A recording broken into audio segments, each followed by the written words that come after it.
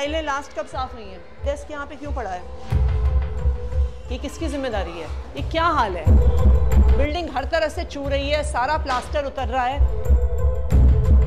एक क्लासरूम जो out of use है उसमें आप नए पंखे लगवा रहे हैं। आप कहिए उस इंजीनियर को जेल भेजा जाए आप कहिए उस कॉन्ट्रैक्टर को ब्लैक लिस्ट किया जाए। हमें भी पता है पंद्रह साल से यहाँ पे करप्शन चल रहा है। इस पे इंक्वायरी तो ऑर्डर करिए। कौन करवा रहा है एक्टिविटी क्लास आइए चलिए वहाँ पे। एक सेकेंड। सर आप आपको पता नहीं है लेवल थ्री कहाँ पर है? एक सेकेंड। हाँ जी कहाँ पे बैठता है लेवल थ्री ये सब क्या है? टाइलें लास्ट कब साफ़ हुई हैं।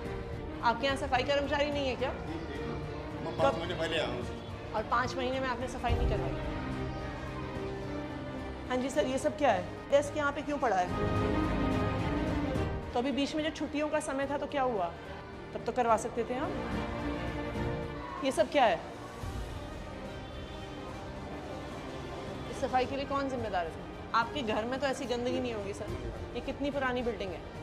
2012 में बनी है। देखिए, हम आपको ब्लेम नहीं करना चाह रहे।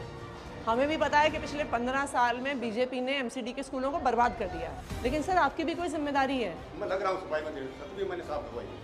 नहीं पर ये क्या है? मैं क्या मानूँ इसको? तो आपको ये दिखता नहीं है? कितनी गंदगी है।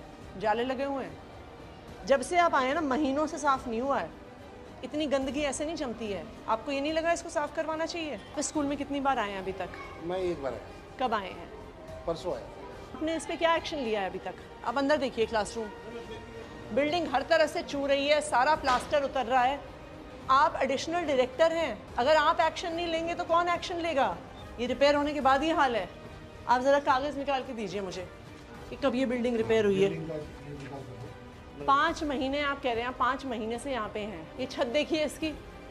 क्लासरूम जो आउट ऑफ़ यूज़ है उसमें आप नए पंखे लगवा रहे हैं। आप कहिए उस इंजीनियर को जेल भेजा जाए आप कहिए उस कॉन्ट्रैक्टर को ब्लैक लिस्ट किया जाए। ये हम क्यों नहीं कर रहे हैं? हमें लगता है गरीब बच्चे पढ़ते हैं।